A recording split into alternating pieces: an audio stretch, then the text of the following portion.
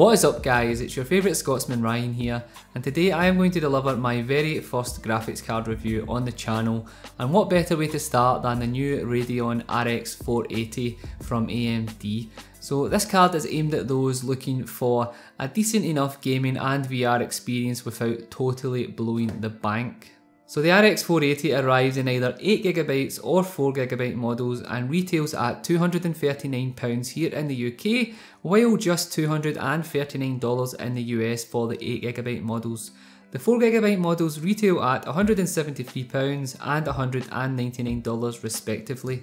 So yes, we do get shafted here in the UK and things have only gotten thicker and harder since we decided to leave the EU, so a big thumbs up if you voted for that. So anyway, I digress. Today's video is sponsored by Overclockers UK, who kindly sent me this card out to review. I will leave a link to their website down below in the description if you would like to go and show them some love. So let's take a look at the design of the card itself. As you can see, we don't have anything too fancy to look at. There's no RGB or sharp features, and we basically have a black rectangle design with a textured plastic on the front and two red Radeon logos. The PCB on the rear doesn't feature a backplate, but if you would prefer a reference design with a backplate, XFX have already released one and I will leave a link to that card down below in the description as it does look pretty sweet. The card overall is pretty short at 9.5 inches or 241mm and when you place it next to a 1080 you can see just how small it is. As you can see, the 75mm blower style fan takes up a decent chunk of the rear and features a metal housing unlike the plastic on the rest of the card and it's open on both sides as you can see. The RX 480 is powered by one 6-pin PCIe Express power connector as it only requires 150 watts of juice.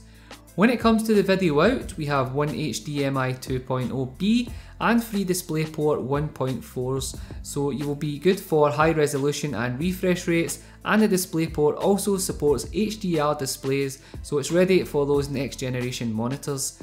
As there is no DVI out, HIS has included a DisplayPort to DVI connector in the box which is pretty cool. Overall, I definitely dig the minimalist styling and with such a short PCB, it will be interesting to see if anyone produces a smaller card in the future. So the RX 480 utilises the new Polaris architecture and the GPU used here is the Polaris 10 XT that is based on 14nm FinFET technology, so we have support for DirectX 12 and Vulkan, as well as AMD FreeSync, HDR as I mentioned, and the ability to stream and record gameplay at 4K 60 frames per second, which is pretty good as most gamers these days love to record that gameplay.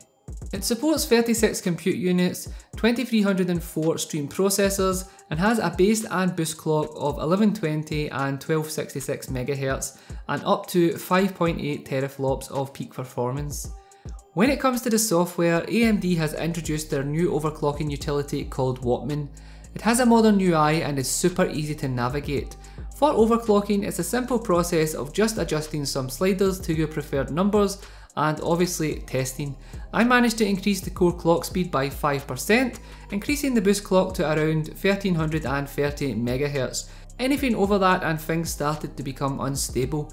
I achieved this by increasing the power limit to 50% and I also managed to increase the memory clock speed to 2200 MHz.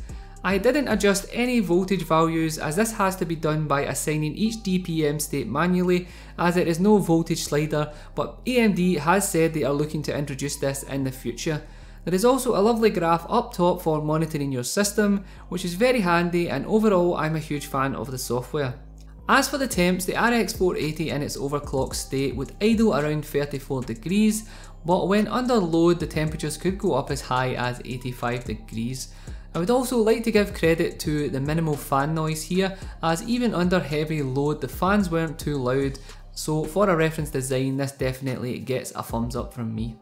Okay, so enough of all the specs and boring stuff, I know you guys just want to see those benchmark results. So I didn't compare the 480 to any other card, but I do have a GTX 970 and R9 380 in-house, so if you would like to see a comparison, definitely smash that like button and let me know down below in the comments, and I will definitely get straight on it.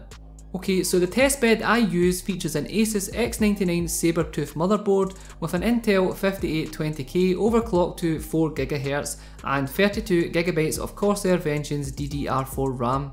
Okay, so all the benchmarks were done in Windows 10 at 1080p and 1440p, as honestly, most people who buy this card will not be looking to do any 4K gaming, and I also use the latest AMD drivers, which at this time are 16.7.2. So with that said guys, let's jump into the benchmarks.